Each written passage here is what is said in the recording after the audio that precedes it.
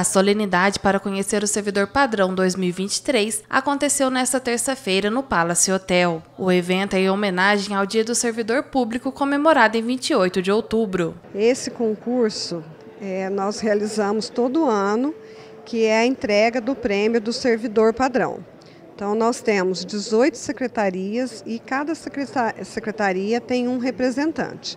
Para nós, né, é, é, super importante é a valorização, o reconhecimento do trabalho de cada servidor em suas respectivas secretarias.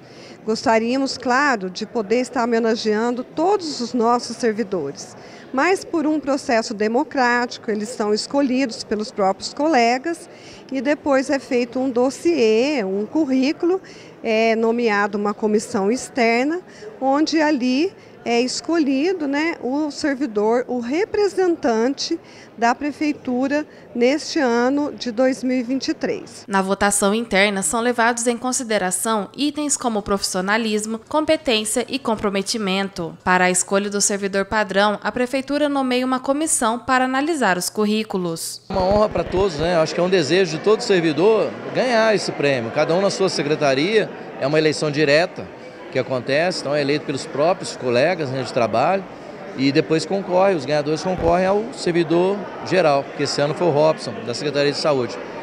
Então, é, com certeza, é um momento muito esperado. Eu mesmo, eu tinha um desejo sempre de poder estar participando, né, quem sabe ganhar o prêmio, e ganhei em 2015 é, esse prêmio. Então, tenho certeza e eu sei a honra que cada um está de estar aqui hoje, ter recebido esse prêmio.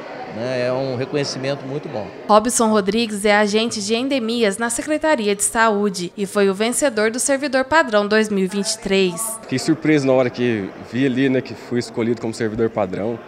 Então, nossa, é um motivo de felicidade né, de representar toda a Secretaria de Saúde, agora a Prefeitura inteira.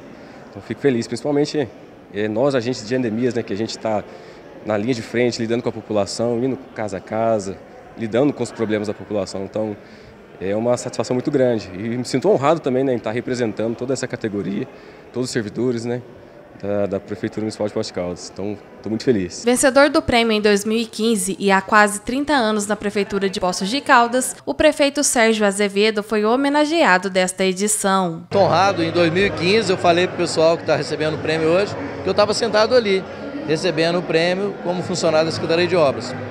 E agora, no próximo dia 10 de janeiro, eu vou estar completando 30 anos de prefeitura. E acabei recebendo essa homenagem que eu não esperava. Aliás, ontem eu ainda perguntei para a analista sobre o, o, evento de hoje, estava tudo organizado, tudo certinho, e perguntei quem que ia ser o homenageado. Ela falou que não ia homenagear ninguém não, que não deu tempo e tal. Eu falei, ah, tá bom. Acreditei, né? E aí cheguei que hoje o homenageado fui eu. Então fiquei muito feliz, porque eu tenho muito orgulho de ser servidor público. Falo com muita, sim, orgulho mesmo, de, de falar esse trabalho que a gente consegue executar e agora tem a honra de poder fazê-lo como prefeito.